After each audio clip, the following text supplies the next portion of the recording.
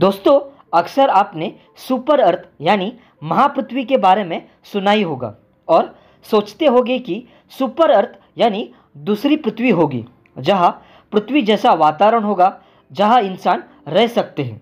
पर दोस्तों, ऐसा कुछ भी नहीं है। तो आखिरकार क्या है यह सुपर अर्थ? चलिए आगे जानते हैं। तो क्या है सुपर अर्थ? उसके लिए हमें सुपर अर्थ की परिभाषा यानी डेफिनेशन को जानना होगा। तो सुपर अर्थ की परिभाषा कुछ इस प्रकार है कि सुपर अर्थ आमतौर पर केवल उनके द्रव्यमान के आधार पर की जाती है।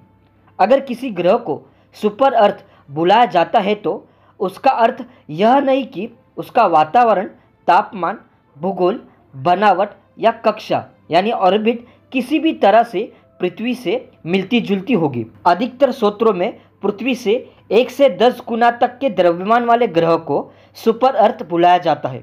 इससे बाहरी ग्रह को सुपर अर्थ नहीं बुलाया जाता, बल्कि घ्यास दानव ग्रहों की श्रेणी में डाला जाता है। सुपर अर्थ एक श्रेणी के रूप में दिया जाता है। किसी ग्रह को सुपर अर्थ के श्रेणी में आना है तो उसे पृथ्वी से बड़ा और वरुण ग्रह से छोटा होना ज़रूरी है। सुपर अर्थ को एक्सो भी कहा जाता है। तो चलिए जानते हैं पाँच ऐसे सुपर अर्थ को।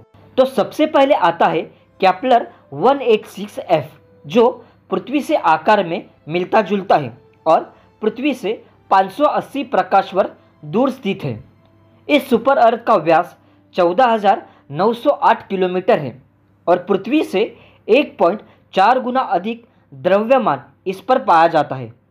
इस सुपर अर्थ को 17 अप्रैल 2014 में डिस्कवर किया था। इसका तापमान माइनस पचासी डिग्री सेल्सियस तक रहता है। दूसरा सुपर अर्थ है कोरंट सेवन बी, जो पृथ्वी से आकार में थोड़ा सा बड़ा है और पृथ्वी से 490 प्रकाश वर्ष दूर स्थित है। इस सुपर अर्थ का व्यास बीस हज़ार अठारह किलोमीटर है और पृथ्वी से 8.4 गुना अधिक द्रव्यमान इस पर पाया जाता है। इस सुपर अर्थ को 3 फरवरी 2009 को डिस्कवर किया था। इसका तापमान बहुत ज़्यादा है। 1030 डिग्री सेल्सियस से 1530 डिग्री सेल्सियस तक रहता है।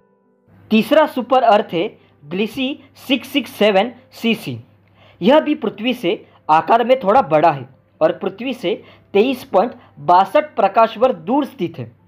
इस सुपर अर्थ का व्यास 19,623 किलोमीटर है और पृथ्वी से 3.7 गुना अधिक द्रव्यमान इस पर पाया जाता है।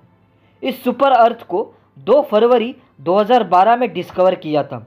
इसका तापमान 4.3 डिग्री सेल्सियस तक रहता है। चौथा सुपर अर्थ है फ्रॉक्सीमा सेंचुरी बी जो पृथ्वी से आकार में ही है और पृथ्वी से 4.24 प्रकाश वर्ष दूर स्थित है।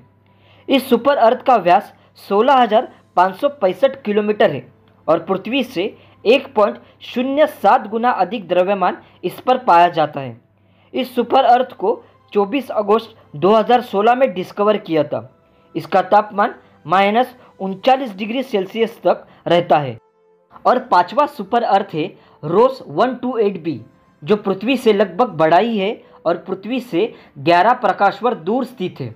इस सुपर अर्थ का व्यास बीस किलोमीटर है और पृथ्वी से 1.8 गुना अधिक द्रव्यमान इस पर पाया जाता है। इस सुपर अर्थ को 15 नवंबर 2017 को डिस्कवर किया था। इसका तापमान माइनस अट्ठाईस डिग्री सेल्सियस से माइनस साठ डिग्री सेल्सियस तक रहता है। दोस्तों, मैंने यह पाँच ही सुपर अर्थ यानी एक्सो के बारे में थोड़ी जानकारी दी है, पर इस ब्रह्मांड में ऐसे बहुत से सुपर अर्थ हैं। नासा के मुताबिक अभी तक, यानी एक मई 2022 तक 5017 कन्फर्म एक्सोप्लैनेट की खोज की गई है। आई होप दोस्तों, आपको यह वीडियो अच्छी लगी होगी। वीडियो अच्छी लगी तो लाइक कर देना। हमारे आने वाले सभी वीडियो देखने के लिए चैनल को ज़रूर सब्सक्राइब करें। वीडियो देखने के लिए बहुत बहुत शुक्रिया दोस्तों।